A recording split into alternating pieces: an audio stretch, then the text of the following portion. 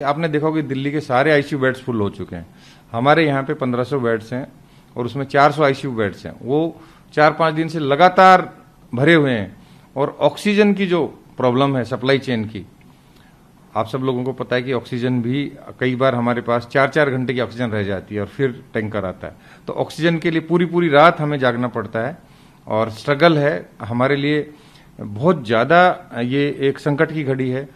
जो मरीज़ हैं वो इतने क्रिटिकल और इतने सीवियर आते हैं कि ऑक्सीजन सेचुरेशन किसी का 40 प्रतिशत है, किसी का 50 है तो उनको तो आपको बहुत ज़्यादा हाई फ्लो ऑक्सीजन देना पड़ेगा। पर पेशेंट्स 40 से 50 लीटर ऑक्सीजन एक मिनट में देना पड़ता है, जब जाके उसका ऑक्सीजन सेचुरेशन मेंटेन होता है। पर क्योंकि ऑक्सीजन की कमी है, पूरी दिल्ली में सारे अस्पताल ऑक्सीजन की कमी से जूझ रहे हैं तो कहीं ना कहीं जो सर्विसेज़ हैं, वो भी कंप्रोमाइज हैं।